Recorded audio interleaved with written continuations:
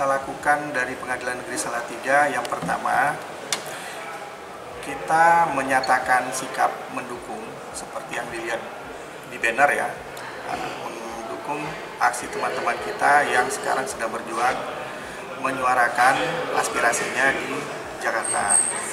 Kemudian seperti yang disepakati bersama arahan teman-teman semua yang tergabung dalam aksi solidaritas Hakim Indonesia, eh, jika bisa menunda sidang seminggu ini, penunda sidang dilakukan. Kemudian jika tetap harus bersidang, ya lakukan persidangan, tapi dengan membuat seperti kita simbol atau diikatkan di lengan. Nah, kemudian eh,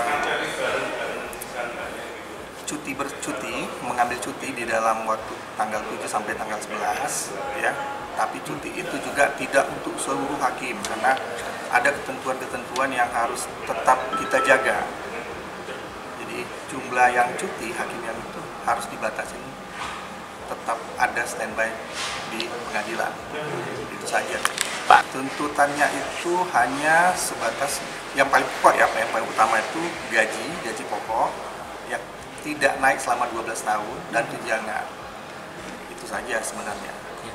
Pak, dengan aksi ini apakah tidak mengganggu kinerja mungkin saat ada sidang-sidang itu, Pak? Nah, itu tadi. Sidang tetap harus dilaksanakan ketika penundaan sidang itu di minggu ini. Hmm, ya. Jadi kalau di minggu ini ada penundaan sidang kemudian hakimnya tidak ada, ya ini pasti ada peringatan. Hmm. Kita selaku pimpinan juga memperhatikan itu.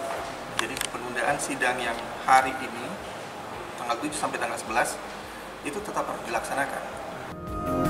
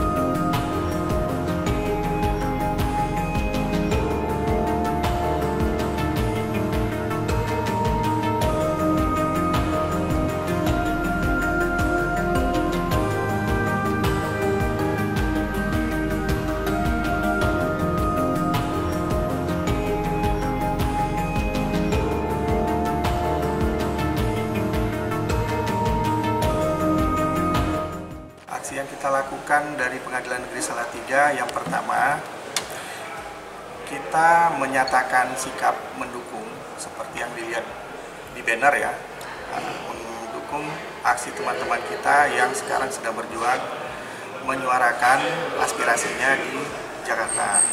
Kemudian seperti yang disepakati bersama arahan teman-teman semua yang tergabung dalam aksi solidaritas Hakim Indonesia, eh, jika bisa menunda sidang seminggu ini, penunda sidang dilakukan. Kemudian jika tetap harus bersidang, ya lakukan persidangan, tapi dengan membuat seperti kita simbol atau diikatkan di lengan. Nah, kemudian eh, cuti mengambil cuti di dalam waktu tanggal 7 sampai tanggal 11 ya. Tapi cuti itu juga tidak untuk seluruh hakim karena ada ketentuan-ketentuan yang harus tetap kita jaga. Jadi jumlah yang cuti hakim yang itu harus dibatasi tetap ada standby di pengadilan itu saja Pak. tuntutannya itu hanya sebatas yang paling pokok ya yang paling utama itu gaji gaji pokok yang tidak naik selama 12 tahun dan tunjangan itu saja sebenarnya Ya. Pak, dengan aksi ini apakah tidak mengganggu kinerja mungkin saat ada sidang-sidang itu, Pak? nah itu tadi sidang tetap harus dilaksanakan ketika penundaan sidang itu di minggu ini Hmm, ya. Jadi kalau di minggu ini ada penundaan sidang, kemudian hakimnya tidak ada, ya, ini pasti ada peringatan. Hmm, Kita selaku pimpinan juga memperhatikan itu. Jadi penundaan sidang yang hari ini, tanggal 7 sampai tanggal 11, itu tetap harus dilaksanakan.